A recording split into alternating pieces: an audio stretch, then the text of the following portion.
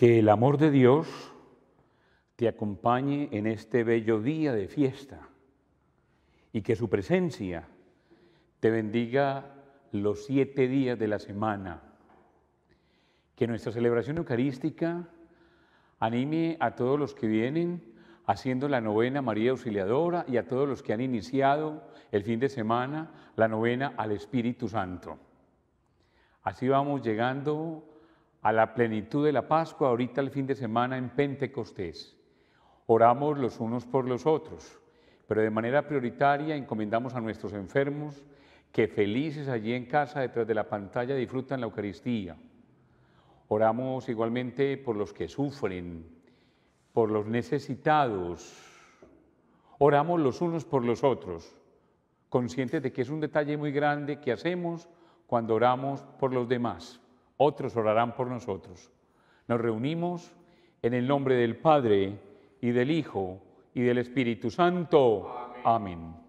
La alegría, la paz que nos ha traído el cumplimiento de la ascensión, que nos pone a esperar el Espíritu en nuestras vidas, esté con todos nosotros.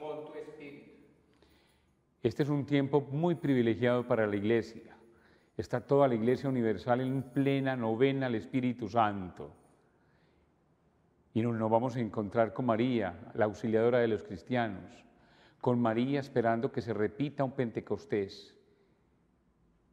Reconozcámonos pecadores. Yo confieso ante Dios Todopoderoso y ante ustedes, hermanos, que he pecado mucho de pensamiento, palabra, obra y omisión, por mi culpa, por mi culpa, por mi gran culpa. Por eso ruego a Santa María, siempre Virgen, a los ángeles y a los santos, y a ustedes, hermanos, que intercedan por mí ante Dios nuestro Señor. Amén. Que el Señor Todopoderoso tenga misericordia de todos nosotros. Él perdone nuestros muchos pecados y nos lleve a la vida eterna. Amén. Señor, ten piedad de nosotros, Señor,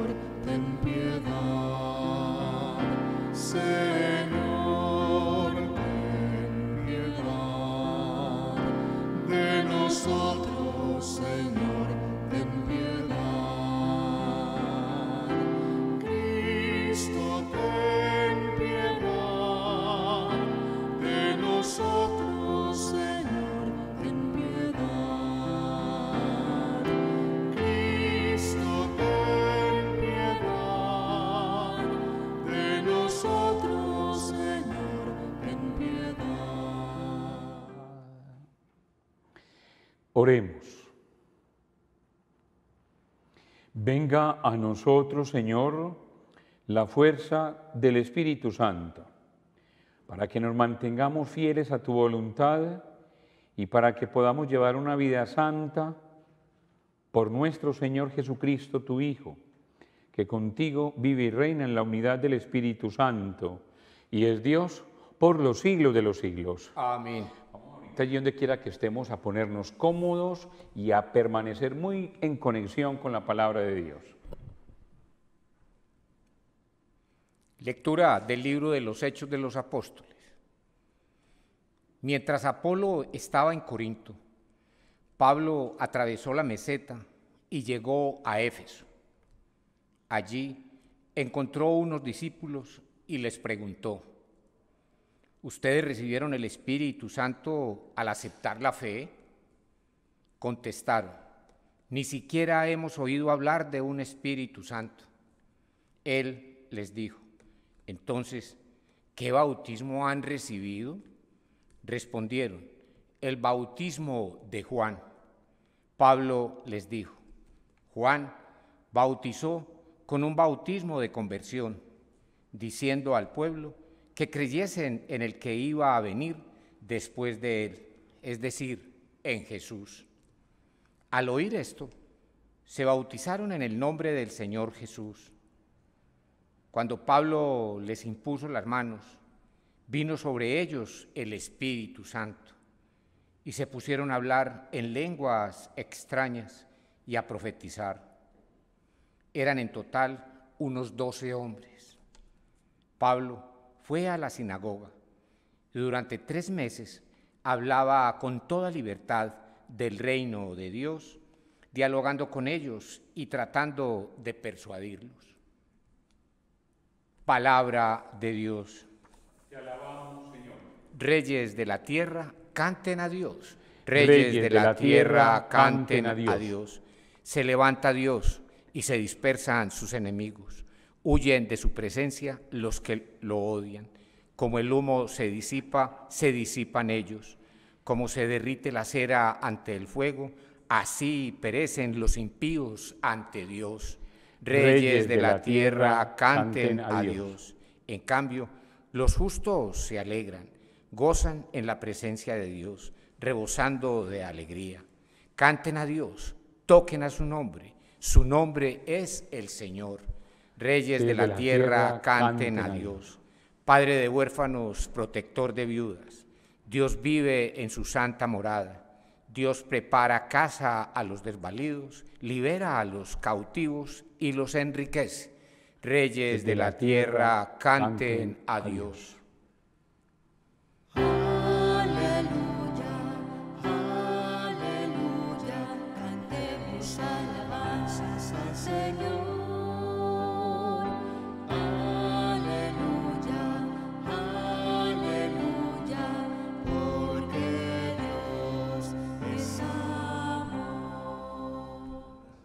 Si han resucitado con Cristo, busquen los bienes de allá arriba, donde Cristo está sentado a la derecha de Dios. Aleluya.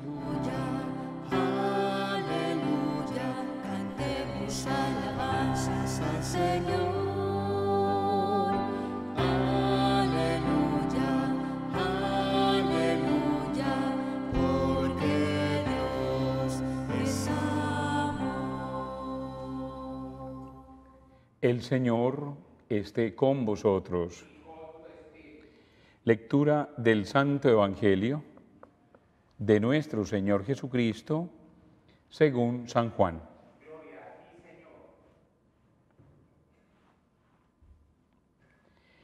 En aquel tiempo, los discípulos dijeron a Jesús, ahora sí que hablas claro y no usas comparaciones.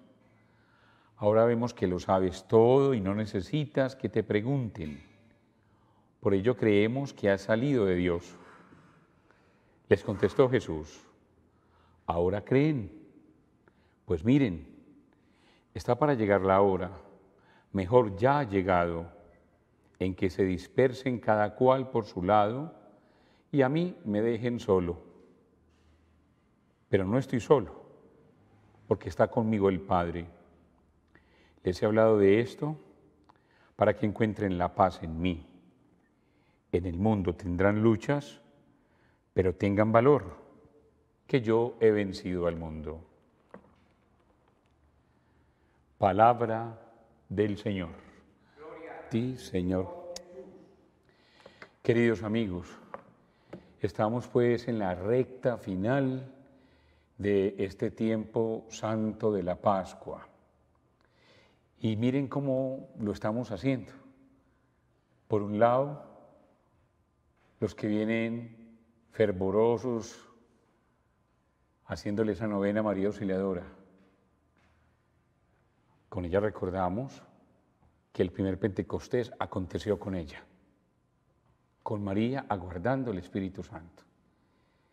Y por otro lado, con todos los que están caminando en la iglesia a través de la novena al Espíritu Santo, la única novena litúrgica que tiene nuestra iglesia. ¿Y a qué nos lleva esto?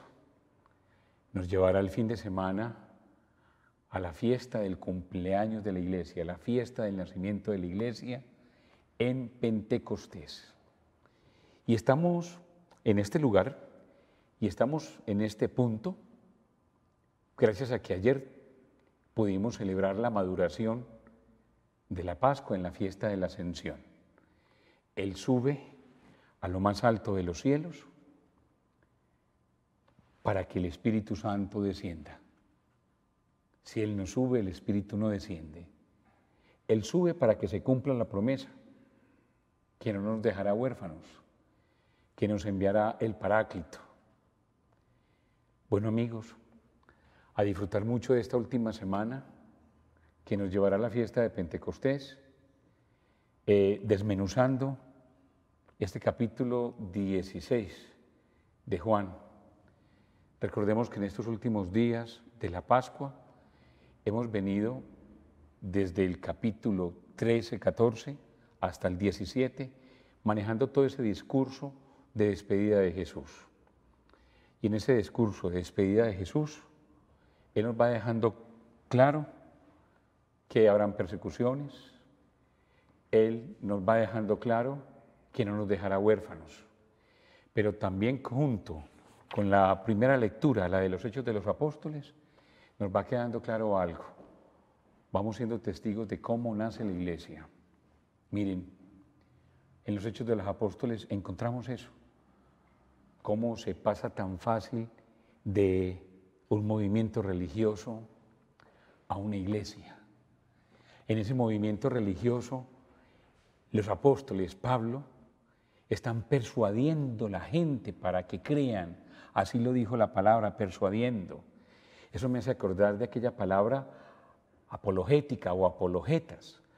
Ahora más que persuadir, necesitamos es de apologetas, personas que hagan apología, que defiendan la fe y que la defiendan de tal manera que muchos sientan la necesidad de caminar, de seguir dando ese credo, de seguir dándole ese al Señor. Entonces, mientras vamos siendo testigos de los hechos de los apóstoles, cómo se pasa de movimiento espiritual a iglesia, que nosotros pensemos que estamos en una iglesia, pero una iglesia que necesita de defensores, necesita de apologetas, personas que la cuiden. Es la más linda obra de Dios, la iglesia. Y la iglesia permanentemente sufre y permanentemente está atacada. Que eso de persuadir nos invite más a cuidar, con el testimonio a cuidar por eso vive de tal manera que ojalá puedas comulgar en todas las misas, vive de tal manera que ojalá puedas disfrutar de esto de predicar el Evangelio y de hacer catequesis con Él y de hacer posible que muchos amen a Dios. Ánimo pues amigos a caminar hacia el cumpleaños de la iglesia, hacia esa gran fiesta que tendremos esta semana, seguros de que el Espíritu es el que sigue guiando, es el que sigue animando, es el que sigue dirigiendo los destinos de la iglesia, que los dirija en tiempos difíciles, sobre todo en aquellos lugares de persecución, en aquellos lugares donde por situaciones de escándalo y demás, muchas se han alejado, muchos han tomado distancia. Amén.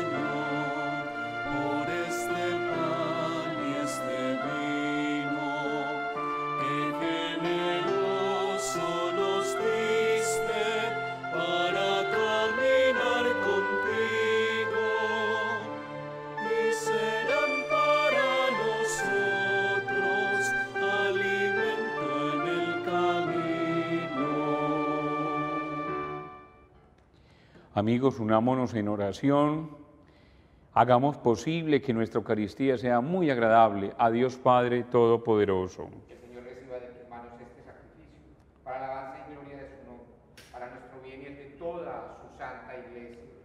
Que este sacrificio inmaculado nos purifique, Señor, y fortalezca nuestros corazones con el poder divino de tu gracia. Por Jesucristo nuestro Señor. El Señor esté con vosotros. Levantemos el corazón.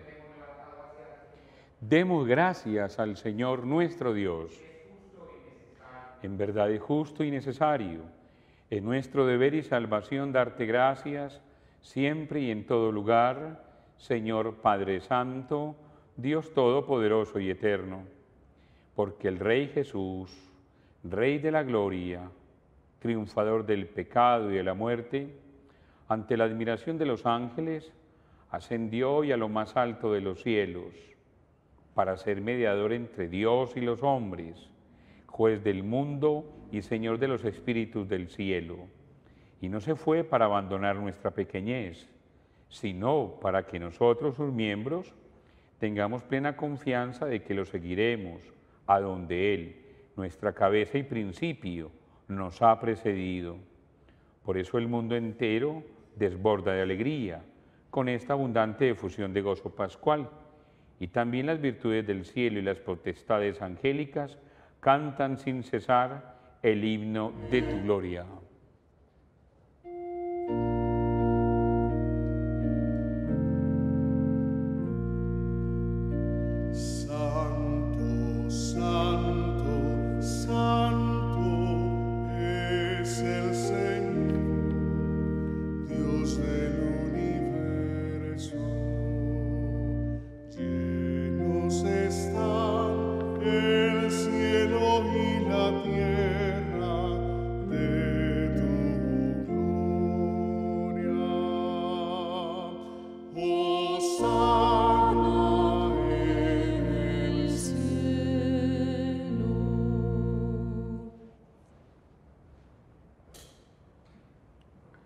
En verdad, eres santo, Señor, y eres siempre bueno con nosotros.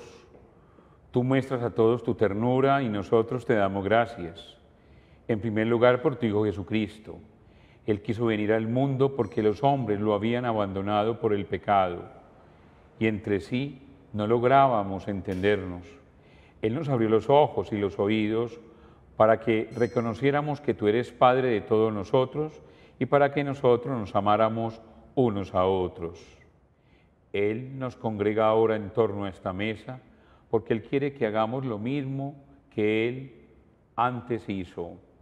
Padre bueno, por la fuerza del Espíritu, dígnate santificar estos dones de pan y de vino, de manera que se conviertan para nosotros en el cuerpo y la sangre de tu Hijo Jesucristo, porque Él, aquella tarde, antes de morir por nosotros, mientras cenaba por última vez con sus discípulos, tomó el pan, dio gracias, lo partió y se los dio diciendo, tomad y comed todos de él, porque esto es mi cuerpo que será entregado por vosotros.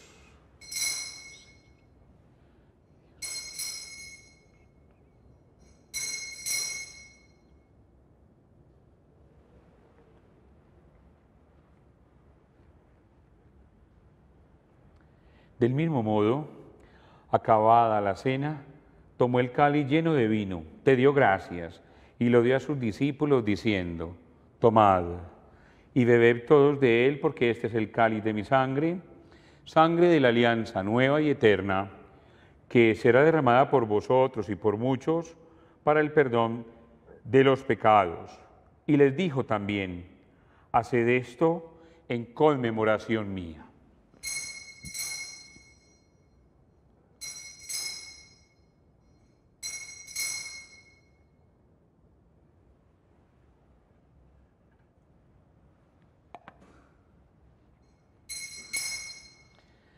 Amigos, detrás de lo que parece pan y vino, Con rostro eucarístico se hace presente el Señor Jesús. Aquí está con el sabor de sus palabras. Él es el sacramento de nuestra fe.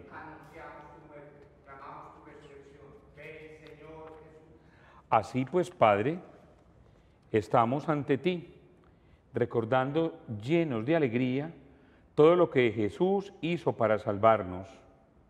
En este santo sacrificio que Él mismo entregó a la iglesia, renovamos su muerte y su resurrección. Padre Santo, que estás en el cielo, te pedimos que nos recibas a nosotros juntamente con tu Hijo querido. Él aceptó libremente la muerte por nosotros, pero tú lo resucitaste. Por eso llenos de alegría te decimos, a ti, oh Dios, que eres bueno, te alabamos y te damos gracias. Él vendrá lleno de gloria al fin del mundo, y en su reino no habrá ya pobreza ni dolor. Nadie estará triste, ni el pecado ni la muerte dominarán más. A ti, oh Dios, que eres bueno, te alabamos y te damos gracias. Padre Santo, tú nos llamaste para que con alegría recibiéramos de esta mesa el cuerpo de Cristo. Concédenos, te lo pedimos, que fortificados con la virtud de este alimento, te agrademos más y más, y por la comunión con el Espíritu Santo lleguemos a ser un solo cuerpo en la caridad. Acuérdate, Señor, del Santo Padre, el Papa Francisco, de nuestro arzobispo, Monseñor Ricardo, y de todos los obispos, y de todos nosotros que con la catequesis y la predicación cuidamos de tu pueblo, para que sepamos comunicar a, los demás esta inmensa alegría. Acuérdate también de los que ya murieron, amigos, familiares y conocidos nuestros. Admíteles a contemplar la luz de tu rostro. Y a todos nosotros concédenos que con la Santísima Virgen María, Madre de Dios, con San José, su, su casto y buen esposo, Juan el Bautista, Francisco de Asís, la Madre Laura, el Padre Marianito, Juan Pablo II y todos los santos, vivamos algún día en el cielo con Cristo y permanezcamos también junto a ti con Él por toda la eternidad. Por Cristo, con Él y en Él, a ti Dios Padre Omnipotente, en la unidad del Espíritu Santo, todo honor y toda gloria por los siglos de los siglos. Amén. Qué rico aprovechar esta última semana de la Pascua que nos va a llevar a la fiesta de Pentecostés ahorita el fin de semana, a vivir un Pentecostés personal, un Pentecostés muy íntimo. No se trata de ir a buscar un retiro espiritual, se trata de saber estar en oración mucho en esta semana, celebrando ese espíritu en nosotros, espíritu que se nos derramó con las aguas del bautismo y espíritu que se desbordó el día de la confirmación. Padre nuestro, que estás en el cielo, santificado sea tu nombre. Venga a nosotros tu reino. Hágase tu voluntad en la tierra como en el cielo. Danos hoy nuestro pan de cada día. Perdona nuestras ofensas, como también nosotros perdonamos a los que nos ofenden. No nos dejes caer en la tentación y líbranos del mal. Amén. Líbranos, pues, Señor, de la tristeza, del resentimiento, del odio, del desamor. Concédenos paz abundante en estos días, para que, ayudados por tu misericordia, siempre estemos libres de pecado y protegidos de toda mala inclinación, mientras esperamos la gloriosa venida de nuestro Dios y Salvador Jesucristo. Señor Jesucristo, un día dijiste a los apóstoles, hoy nos repites a todos de nuevo, mi paz les dejo y mi paz les doy. No tengas en cuenta nuestros muchos pecados, sino nuestra mucha y grande fe. Y conforme a tu palabra, a todos danos paz, amor, salud, empleo y unidad. Tu Señor que vives y reinas por los siglos de los siglos. Amigos, que la paz de este buen Dios esté con todos nosotros. Allí en familia, hoy día de fiesta, démonos un saludo de paz.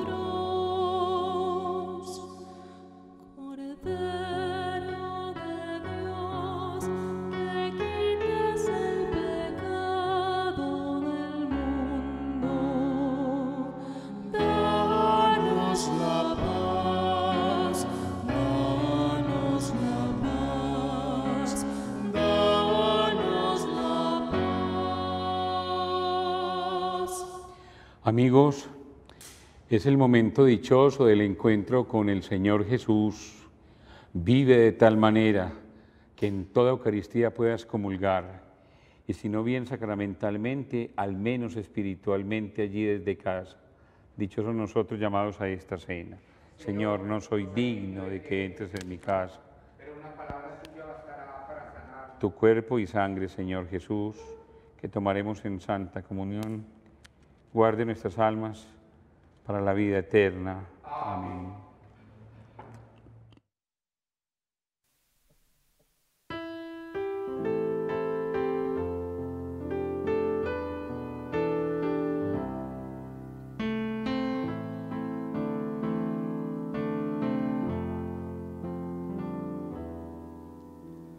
Ha venido el Señor. Creo, Jesús mío, que estás real y verdaderamente presente en el Santísimo Sacramento del altar. Te amo sobre todas las cosas y deseo vivamente recibirte dentro de mi alma. Pero no pudiendo hacerlo ahora sacramentalmente, ven al menos espiritualmente a mi corazón. Y como si ya te hubiese recibido, te abrazo y me uno del todo a ti. Señor, no permitas que me aparte de ti. Amén. Hecho pan, ha venido el Señor a traernos la paz. Ha venido el Señor y en nosotros está. Tú eres solo mi Oremos. Señor, muéstrate benigno con tu pueblo, al que has alimentado con los sacramentos celestiales, y haz que del antiguo pecado pasemos a la vida nueva. Por Jesucristo nuestro Señor.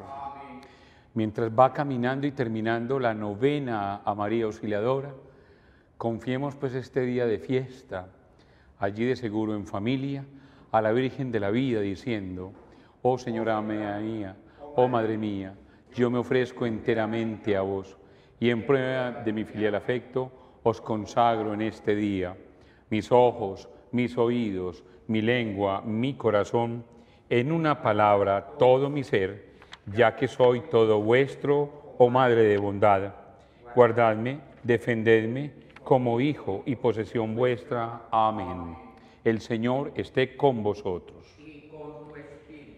Los bendiga Dios Todopoderoso, cuyo unigénito penetró y a lo más alto de los cielos, ascendiendo a los cuales hizo accesible para ustedes, haciendo posible la entrada donde Él mismo está. Amén. Y la bendición de Dios, que tanto nos ama, Padre, Hijo y Espíritu Santo, descienda en nosotros, el Señor nos ayude y nos acompañe siempre. Amigos, podemos continuar en paz. Dios les bendiga a todos.